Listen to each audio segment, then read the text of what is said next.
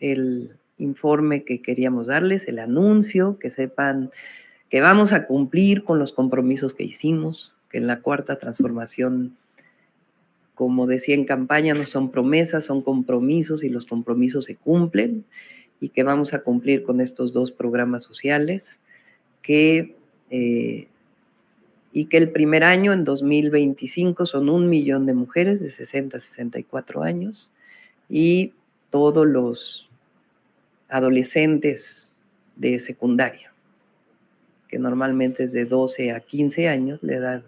de la secundaria, y todos tendrán su beca universal. Y así cada año vamos a irla ampliando a las demás familias que tienen hijos e hijas en educación básica.